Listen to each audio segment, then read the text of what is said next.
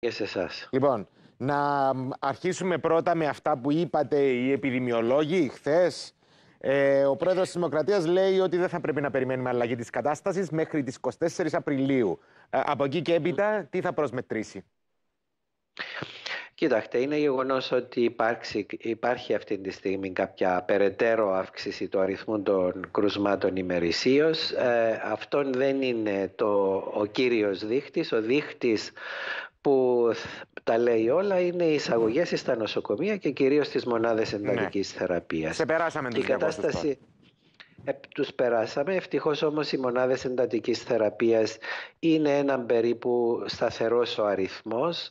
Ε, παρουσιάζει μια πολύ πολύ μικρή αύξηση, αλλά δεν έχουμε φτάσει στα όρια ακόμα. Ναι. Φυσικά το σύστημα θα πιεστεί περισσότερο εάν εξακολουθήσουμε να έχουμε 500 και τις επόμενες Ε, είναι γεγονός ότι τα άτομα που νοσηλεύονται είναι νεαρότερα, έχουν πιο σοβαρά συμπτώματα.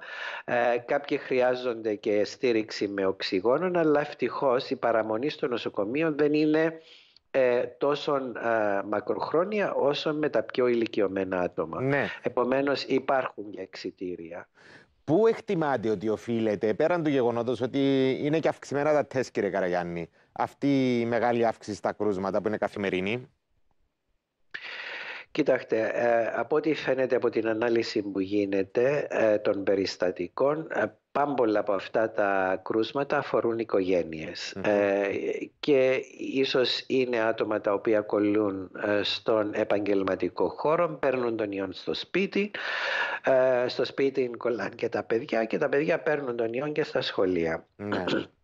Μάλιστα. Επομένως, οι κύριοι χώροι μετάδοσης αυτή τη στιγμή είναι ενδοεπαγγελματικά και ενδοοικογενειακά. Επομένως, σε μεγάλο βαθμό στους επαγγελματικούς χώρους ίσως να μην τηρούνται τα πρωτόκολλα και στο σπίτι ε, οι οικογένειες είναι, δεν ε, παίρνουν τα ανάλογα μέτρα προστασίας. Ίσως ε, να συνευρίσκονται και με ναι. των ευρύτερων φιλικών κύκλων και εκεί παρουσιάζονται τα προβλήματα. Ναι. Ε, έχει κουραστεί ο κόσμος κύριε Καραγιάννη. Ε, επειδή των πρώτων καιρών ήταν όλοι πολύ πιο συνεπείς, τώρα ακόμη και άτομα οι οποίοι δεν είναι αρνητές του ιού, ε, άτομα τα οποία συμμορφώνονταν για αρκετό διάστημα, κουράστηκαν και πλέον είναι πιο χαλαροί γενικότερα και δεν τηρούν πολλούς από τους κανόνες που έχουν να κάνουν με τις αποστάσεις, την προσωπική υγιεινή και πολλά άλλα. Ναι. Συμφωνώ. Ε, πρέπει να πούμε ότι όλοι μας κουραστήκαμε, αλλά εκείνο που ζητούμε συνέχεια είναι να κάνουμε ακόμα μια-δυο εβδομάδες ε, λίγη υπομονή ε, να αυξηθεί και η εμβολιαστική κάλυψη. Μας ήρθαν τα 60 εμβόλια από την Άστρα Ζένεκα που θα μας έδιναν έτσι μια ανάσα και μετά βγήκε αυτός ο ναι. κύριος από 60.000 ε, βγήκε αυτός ο κύριος από το αίμα και ξαφνικά δημιούργησε πρόβλημα. Ναι, ελάτε τώρα. ήταν ανεύθυνη αυτή η δήλωση. Είναι ο επικεφαλής εμβολιασμών του Ευρωπαϊκού Οργανισμού Φαρμάκων. Ναι, το καταλαβαίνω. Θεωρώ ότι ναι, ε, έπρεπε να περιμένει να αποφανθεί η ολόκληρη επιτροπή εντιολότητά της ε, επί του θέματος ναι. έχοντας μπροστά της όλα τα δεδομένα. Ναι. Αυτή τη στιγμή βγήκε αυτός και είπε αυτά που είπε. Ε, ίσως θα βγει η Επιτροπή το Δήλης και θα πει κάτι αντίθετο ή με κάποια δικλίδα που να λέει όχι στην τάδε ομάδα ή όχι στην τάδε ηλικιακή ομάδα ε, και θα δημιουργήσει έτσι λίγο περαιτέρω δυσπιστία στον κόσμο. Ναι. Ελπίζω ότι ε, ο κόσμος θα καταλάβει ότι η ωφελημότητα... Ναι, αλλά πιστεύετε ότι είναι αυθαίρετα συμπεράσματα, δηλαδή το γεγονός ότι συνδέεται με περιστατικά θρομβώσεων σε κάποιες περιπτώσεις. Θα μου πείτε τους αριθμούς τώρα, είμαι σίγουρος, ε, ναι, πόσα είναι ναι. αυτά τα περιστατικά και πότε, πόσο συχνά μπορούν να συμβούν σε ελιοστρομβώσεις σε κάποιες ε, ομάδες πολιτών. Ε, κύριε Καραγιάννη, αλλά γιατί να, βγει, γιατί να βγει σε αυτήν τη συνέντευξη που έδωσες σε Ιταλική εφημερίδα και να προβεί σε μια τέτοια δήλωση, αν δεν υπήρχε ε, πρόβλημα. Τι εκτιμάτε. Κοιτάξτε, αυτή τη, στιγμή, αυτή τη στιγμή δεν ξέρω ούτε εγώ ούτε ποια ηλικίας ήταν τα περιστατικά ναι. ή αν είχαν κάποιον ε, πρόβλημα με την υγεία τους. Ε, δεν γνωρίζουμε τους λόγους γιατί συμβαίνουν αυτά τα περιστατικά.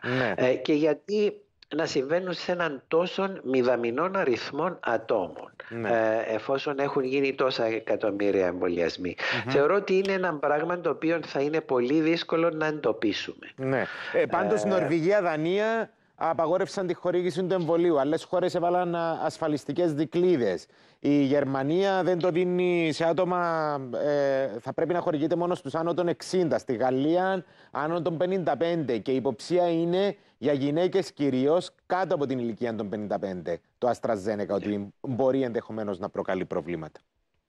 Η Αυστραλία από την άλλη μεριά ε, το προωθεί πλήρως σε όλες τις ηλικιακές ομάδες. Ναι. Ε, επομένως υπάρχει αυτή η διαφορετικότητα από χώρα σε χώρα και αν θυμάστε εμείς ήμασταν μεταξύ των πρώτων χωρών που είπαμε, ε, έκαμε, σύσταση στο Υπουργείο Υγείας να συνεχίσουμε με τους εμβολιασμούς με τον άνω των 65 ετών ατόμων. Εάν θυμάστε υπήρξε ναι. και αυτή ε, η αναστολή σε αυτές mm-hmm. τις ηλικιακές ομάδες και εμείς είπαμε συνεχίστε δεν φαίνεται από τις μελέτες ότι αν, υπάρχει αντένδειξη για αυτές τις ηλικίες. Ναι. Θεωρώ ότι τώρα που έχουν προχωρήσει οι εμβολιασμοί έχουμε περισσότερα δεδομένα ε, πρέπει να γίνεται αυτή η παρακολούθηση προοπτικά επίσης ούτως ώστε να γνωρίζουμε τι συμβαίνει και ανάλογα να πράττουμε. Ε, θα γίνουμε σοφότεροι με την ναι. πάροδο του χρόνου. Να κάνω μια αφελήνη ερώτηση ε, κύριε Καραγιάννη. Αν χορηγούνται σε κάποιες ε, ομάδες που